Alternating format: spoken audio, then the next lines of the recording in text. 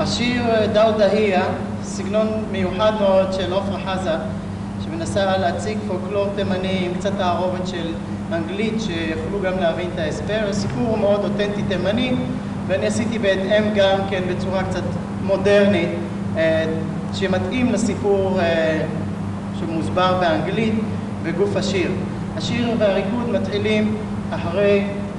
אחד, שתיים, עם התקדמות לצד ימין, שתיים, פה באות שתי צדות תימניות,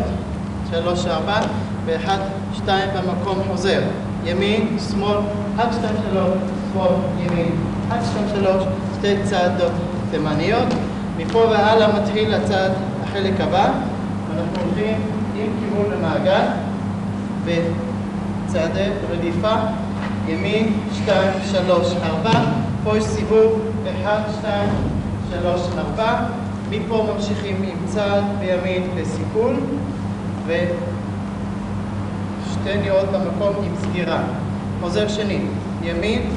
ושמאל, סיבוב, שלוש, ימין, שתיים, שלוש, ארבע, אחד, שתיים, מההתחלה, ימין, שתיים, אחד, שתיים, שלוש, שמאל, שתיים, אחד, שתיים, שלוש, צעד ימני, מצד לצד, ועוד הפעם, ימין, ואחד, שתיים, שלוש, שמאל, אחד, שתיים, שלוש, אחד, שתיים, שלוש, ארבע, עכשיו חלק ב', ימין ושמאל, סיבוב לאט, ימין, שתיים, שלוש, ארבע, אחד, חוזר, ואחד, ושתיים, שלוש, ארבע, עכשיו קטע הבא,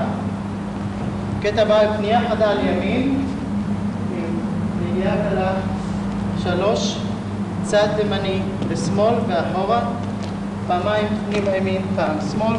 העברת משקל ימני מחוץ למעגל, וחוזר שני מההתחלה, ימין, שתיים, שלוש,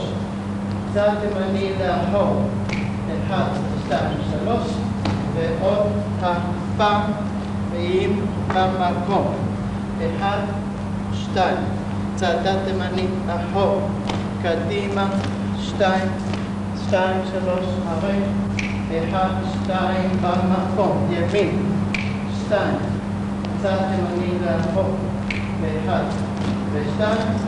אחד, שתיים, שלוש, ומהתחלה,